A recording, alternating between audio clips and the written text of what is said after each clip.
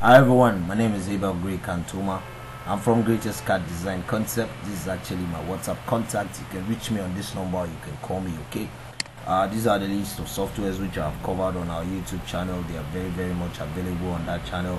Visit uh, the channel and actually keep yourself busy. Down below the description of this video, you'll find a link to that channel. Make sure you go there and actually keep yourself busy. We have covered architectural working drawings, structural designs and detailings, mechanical and electrical service drawings, water designs and road designs. Okay. We now teach all of the softwares on our Telegram platform where we'll give you the software, we'll guide you on how to install it and how to crack it on your system uh, yourself. Okay, for 40 days. Okay, just for the token, you can actually chat me up. Okay, or you can even call me uh, for more information about our trainings. Okay, uh, today I'm going to be showing you how to actually come up um, with your uh, cantilever. Okay uh, we're going to be having a cantilever stand uh, from our ProtaStructure okay let's jump right into it I'm going to click on new and I'm going to make this cantilever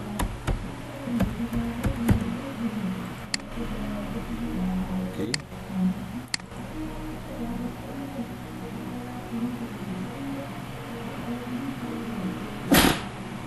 okay I'm going to click on orthogonal and I'll click anywhere here and I'll click on OK. Okay good good so I'm going to uh, select my steel column and then um, I'm just going to use this section that is actually here. Just want to make this as brief as possible okay? And then um, I'm going to draw a beam steel beam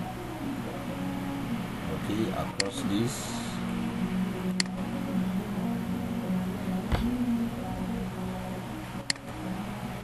Okay good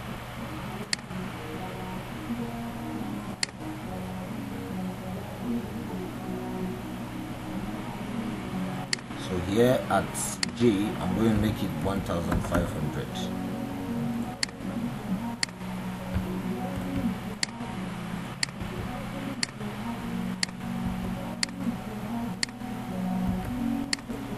okay. Make this zero. I'll make this 1500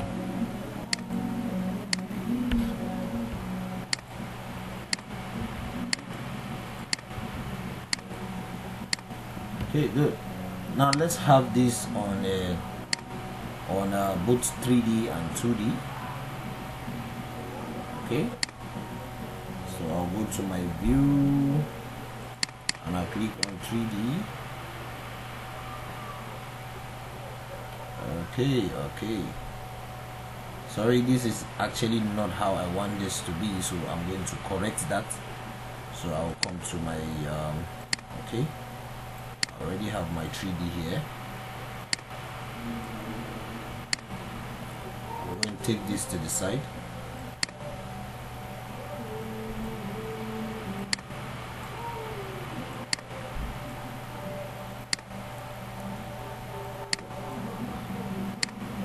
Okay good.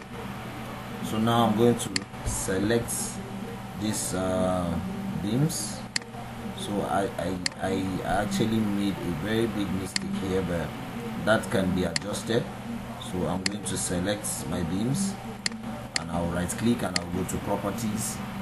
And then um, here I'll select all of them. And then I'll make here zero. Okay and I click OK. And at the right side I will make this um, 1500 okay. And then I click OK then I close okay good.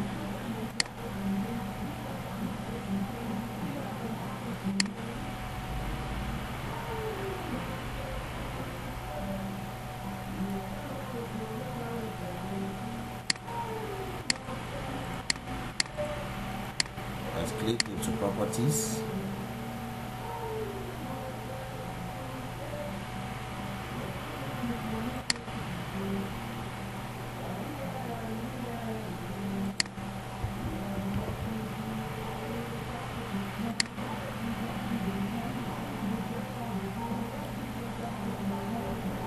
want this to actually slant a bit so um, I'm going to select them.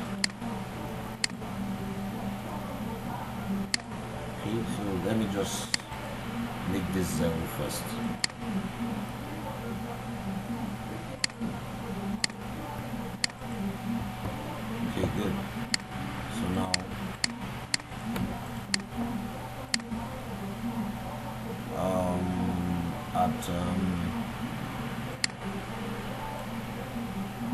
right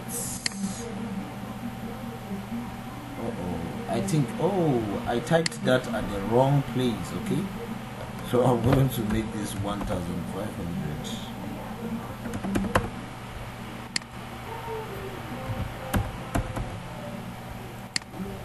good. This is what I'm looking for.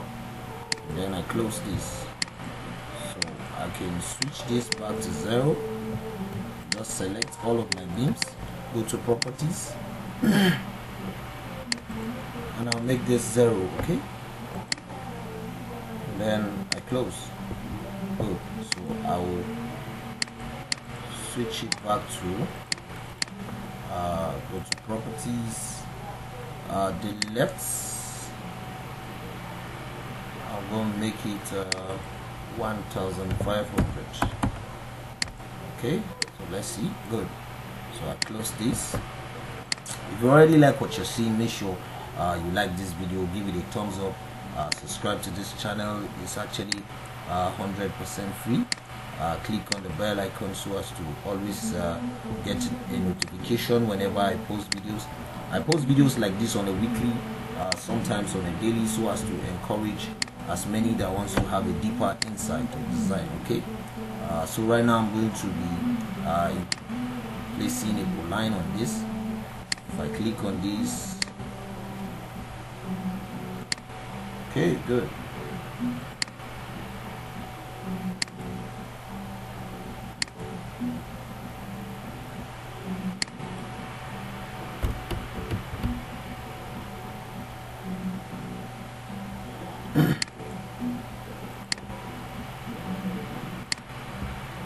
Okay